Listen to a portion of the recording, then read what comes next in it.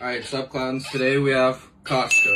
Um, you got pepperoni pizza and a hot dog. So the hot dog, it comes with a drink. I don't know where the drink went. I lost it. But, dude, the Costco hot dog's a dollar with the drink. Run it up. Um, if you're in bulk mode like me, dude, this pizza has like apparently like 30 something grams of protein. I don't know how, but let me just eat it and let's just, just go to, let's just go in. Mmm. Yeah, I'm not gonna lie.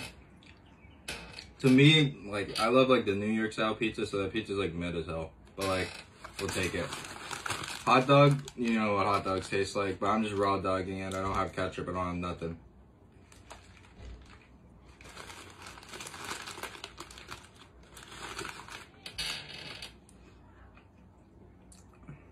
Woo!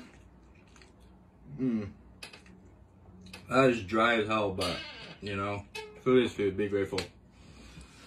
A rating? To me, this is a classic.